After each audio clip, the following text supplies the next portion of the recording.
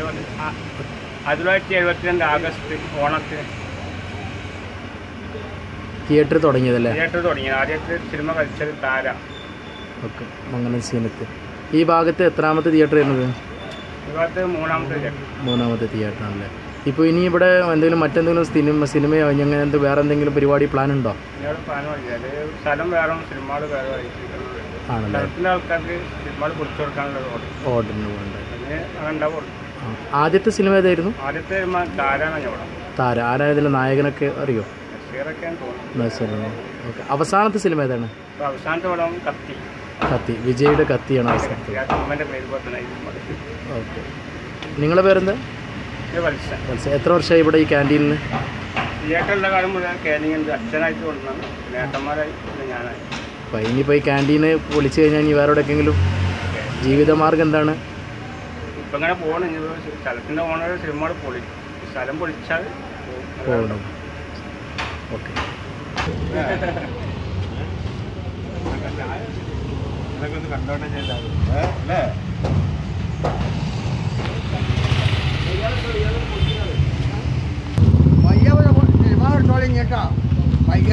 അവരോട് ചോദിച്ചു പേപ്പറിൽ വരും നാളെ അന്ന് സീനത്തിൽ നിന്നല്ലേ പേരല്ലേ ആ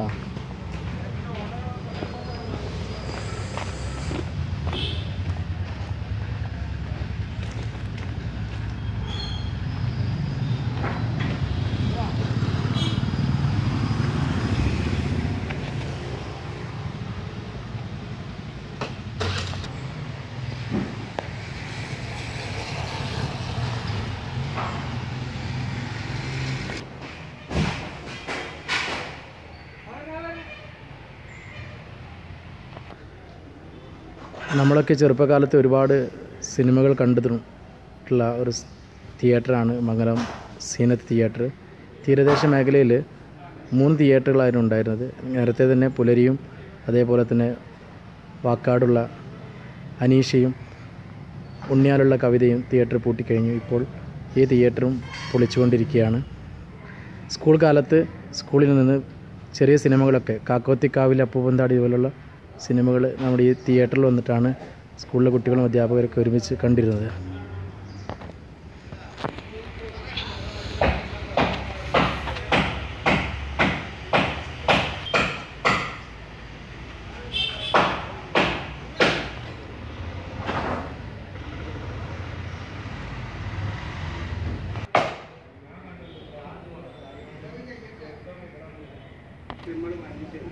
ആദ്യം പോയത് ചിത്രമുള്ള സമയത്തൊക്കെ സീറ്റ് ഉണ്ടോ ചിത്രം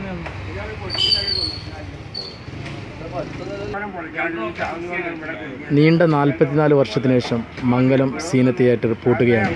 അവശേഷിക്കുന്നത് ഈ ഒരു തിയേറ്ററിനകത്തുണ്ടായിരുന്ന ഒരു ചായക്കട മാത്രമാണ്. ഇനി ഇതൊരു ചരിത്രമായി മാറുകയാണ്. റിപ്പോർട്ട് തയ്യാറാക്കിയത് റിഫ.